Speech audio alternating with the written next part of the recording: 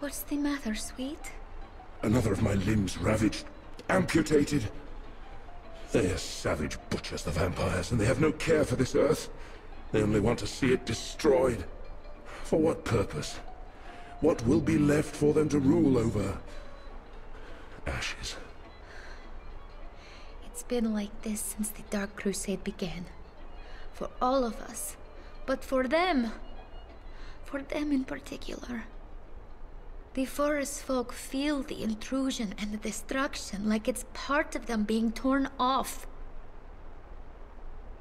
I don't think they act with any thought, the Strigoi. They don't have a vision for a world after their war. They only want to feed on us until there's nothing left. Then let them try. They will find no nourishment in my veins, only pain and death.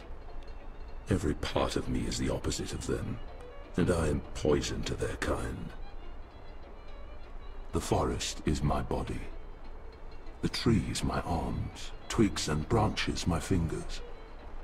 Through them I touch the earth, the air and the water, and I read them as a bat reads the night. The vampires, they're tearing away my senses one by one. But they can still be restored. Regrown. And through them I can see past the scorched earth and bring the battle to our enemy. He's talking about protecting magic trees. Your command of language never ceases to amaze me, Lady Sophie.